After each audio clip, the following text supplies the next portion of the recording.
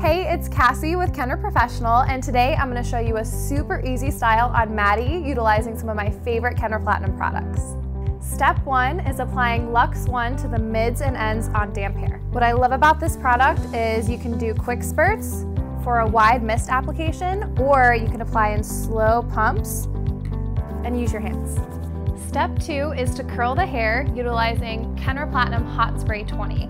You can see I've already done most of her hair with these curls lying away from the face. So now I'm just gonna do my last subsection utilizing our hot spray.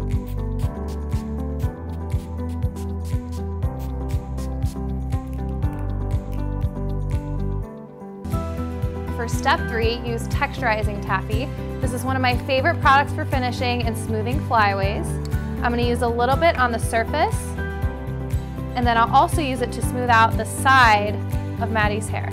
Once the side of her hair is smoothed away, go ahead and secure with pins as desired.